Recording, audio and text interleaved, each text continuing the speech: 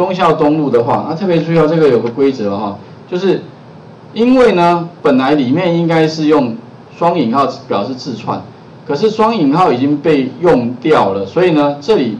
我们就改成单引号啊，所以特别注意 C 口里面的单引号使得就是字串啊，因为呢双引号被用了，所以我们就用单引号来表示。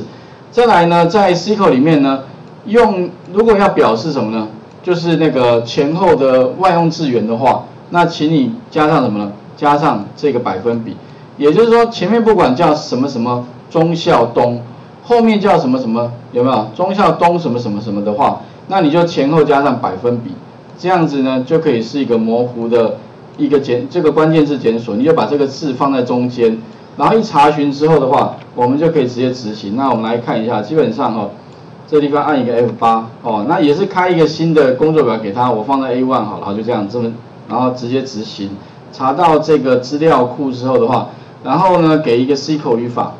好，C 口语法之后的话呢，再把资料 call 到那个 A1 的储存格，好，然后再把它 close 掉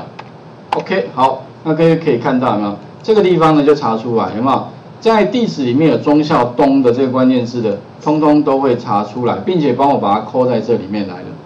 哦，那利用这样的方式，除了说你可以把资料放在那边之外，哈，你也可以怎么样呢？可以把它再查出来。那当然，你也可以想说，老师，那我可不可以再加一个按钮，比如说让使用者什么查询？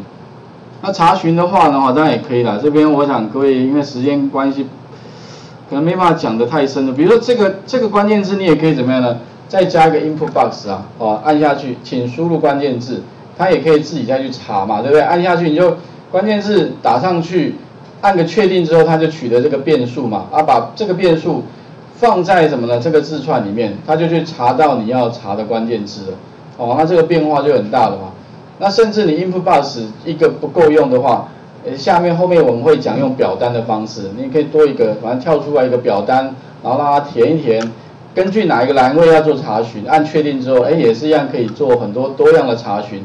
那这样的需这样的这样的结果，其实啊，对一般的办公室应用，其实就已经很足够了，啊，就已经很足够了。OK，所以这里的话，我想哈，跟呃给给各位哈做做个补充。那特别注意就是说我刚刚讲的重点，就第一个，这个 Connection Suite，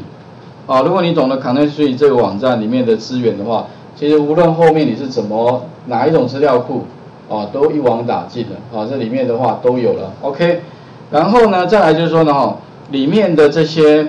基本的要修改的部分，哈，这个我想各位哈可以把它当 sample 稍微了解一下。那 SQL 如果你不熟的同学哈，请自行再去了解哈。刚才房间有 SQL 相关的书籍，你就买一个比较简单的，稍微了解一下，哦就可以了。再来就是说呢，哈，怎么去做修改？那其实除了说查询之外，还有所谓的新增、修改、删除。